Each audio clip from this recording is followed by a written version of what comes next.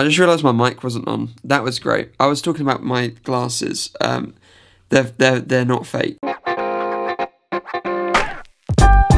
I promise you, they are real. They're prescription.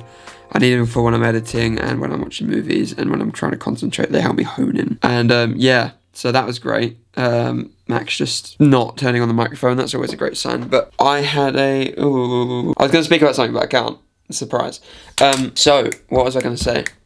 Something fun happened last night, and that is, that I got into another committee. I'm, I'm on committee for YSTV now. What's the York Student Television? Hang on. York Student Television. Was it TV? Yeah, York Student Television. They're a society, and they're one of the oldest ones in the country. Oldest in England. Second in the UK to Gust, what's Glasgow. But yeah, very old TV society. I'm now the head of presentation, what means that I'm in charge of watching over edits and making sure they're all dandy before they get uploaded. And I upload them as well. What's super cool. Um, was a job that I really like doing. Um, other exciting news, nothing much. I had a lecture this morning, it was very fun. One of my lecturers complimented my hat, what was very cool. Thank you for that. Kind of surprised me, you know. But I have frisbee later. This is why I love this. Summertime's been the best so far. I've been so unbelievably busy, like so busy. But I think that's a good thing. I think last uh, last time was a bit of a weird one. I, I mean, it's just great. Um, go out, I can play frisbee, um, go see my friends, go out in town, drink alcohol other than my kitchen. What's just fantastic, really. Now I just need to. What do I need to do? I lost my train of thought. I need to do some work, definitely.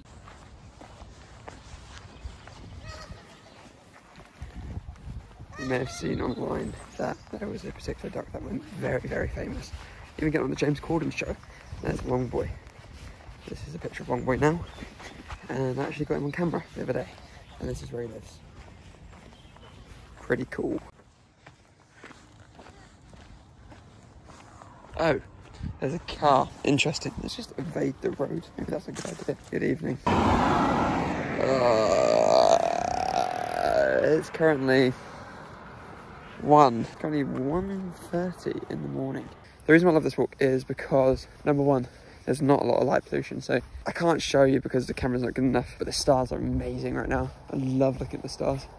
Well, you don't get a lot in London, actually. I don't know, I just don't see the stars a lot in London, like, at all. Um, just walks. Walks help a lot, and I think I learned that through lockdown, is that having time to yourself, just walk around and evaluate everything. It's just stopping, you know? A lot of people's problems are that they don't stop every now and then. You can't be running all day unless you're Forrest Gump, that's very different. But in a weird scenario, if you are Forrest Gump, I think you probably need to go see a doctor. Fun times at night.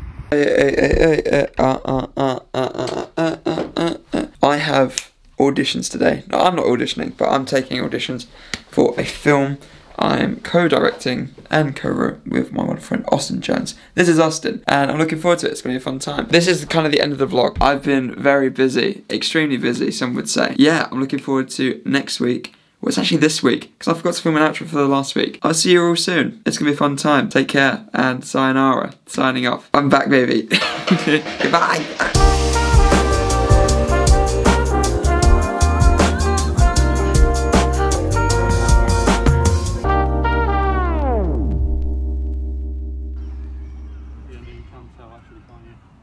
Yeah, though he's long as fuck.